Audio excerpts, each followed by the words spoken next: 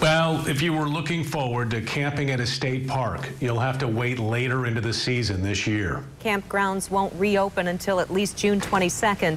And News 8's Kyle Mitchell explains what's behind the delay.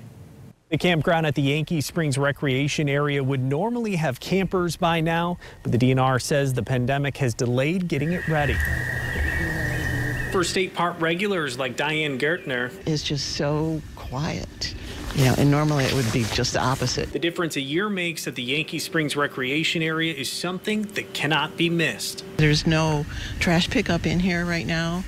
Um, it's just totally different. It's like the middle of the winter, but not winter. We're basically at least a month behind. Ron Olson, the chief of Parks and Recreation for the DNR, says the department is working to put procedures in place to protect campers and staff, but the stay at home order has caused delays. We have to staff, get our staff uh, for the summer hired, and uh, those have all been uh, put on hold uh, on a hiring freeze due to the executive orders. The DNR says park revenue will take a hit with the delays and that the majority of the funding to maintain them comes from campground fees. The parks are offering people a free night of camping if they rebook and not cancel their reservation.